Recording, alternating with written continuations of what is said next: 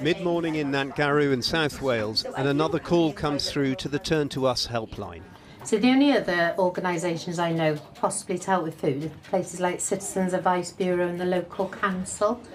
One caller says she's just been evicted from her house. Council's moved her into a hotel, her and children, and they haven't got a penny to their name, and they've got no way to cook anything. All they've got in the hotel room is a kettle, you know, so like the normal tea coffee service. And no food, no even if they got a food bank, how are they going to cook pasta and heat up soup? They're not going to be able to do it, are they? Do you know why they were evicted?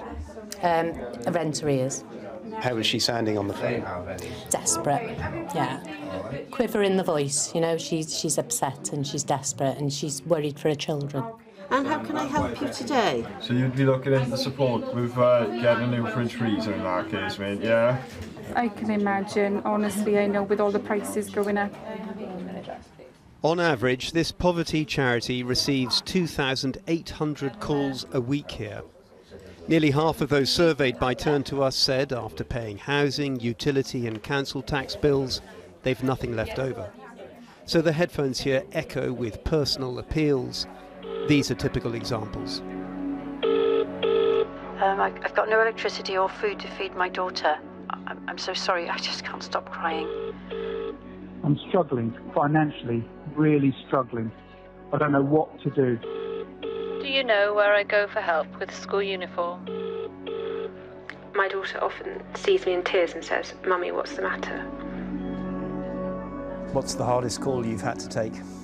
If, if they put the phone down and you're saying that they're going to end their life within the next couple of minutes, you know, and then you have to call them back. And if you can't get hold of them, you know, and then you have to, hopefully you've taken the details from them to get some sort of help to them, be it an ambulance or the police, to do a welfare check. But thankfully, once that has happened, it's out of my hands, so to speak, so the team leader will deal with it, but it's still there in my head, you know. So, yeah, so that number that I've just given you is the contact number for the emergency support payment um, from from the council.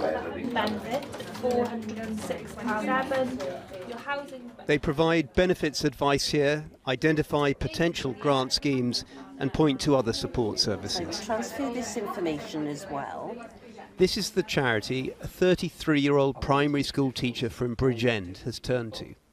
A father of two, he has a full time salary, his wife is a student nurse, but they are struggling. Because I worry that is there going to be enough food left at the end of the month, money to buy food at the end of the month to feed the kids? Is there going to be enough money to, in the account to put petrol in the car? You know, and is there going to be enough money to pay those last couple of bills that got to go out at the end of the month? Um, and it does create a great deal of anxiety Every time you see a price rise at the petrol pump or going into the shops, how much does that have an impact on you? It makes me sick. It really, I just, I look at it and part of me wants to be able to shut off from it and just think, I can't worry about it, but you do.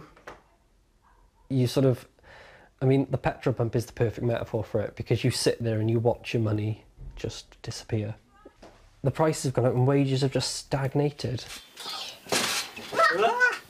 As recipients of Universal Credit, they'll receive two instalments of a £650 cost of living payment. But like a majority of Turn2us users polled, believe these and other measures will still leave them with a shortfall. When we were going home. Right. They say their rent's risen, it's unaffordable, so they're moving in with his parents.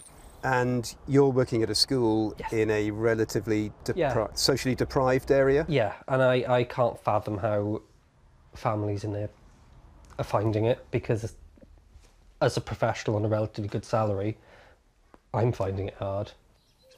200 miles away in Lincolnshire, and another family has asked the charity for help. Gary Waterhouse had to give up his work to help care for his wife Natasha. They're receiving benefits but are struggling with rising energy bills. I've been, I won't say forced, but uh, it has been a, a strong persuasion uh, that I've now taken up part time taxi work uh, so I can work around Natasha's needs just to get food on the table to make sure we can adhere to our current bills. Just opened a letter and I've got charges of a grand. God, it's not me for six.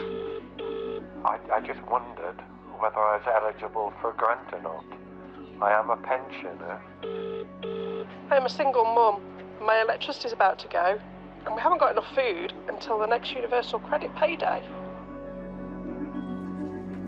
And have you ever contacted us before? At the helpline, they tell us more and more in full time work are calling in. Teachers that have taken second jobs as Domino's delivery drivers that are delivering to their students because they simply can't afford to live on a teacher's wage. You know, nurses that are having to access food banks because they're not able to manage on the income that they're bringing home even though they're working 12 hour shifts. I feel like people are trying their very, very best to be independent, to work, to contribute, to bring something more to society and are being failed. The Chancellor spoke again today of a £37 billion package to help UK households. The Welsh Government announced an extra £200 payment for more low income households. But as inflation continues to soar, for many, it appears a cost of living crisis only likely to deepen. Andy Davies reporting there. And if you've been affected by the issues highlighted in Andy's report, you can access support via the Channel 4 website. Go to channel4.com slash support and find the hardship section.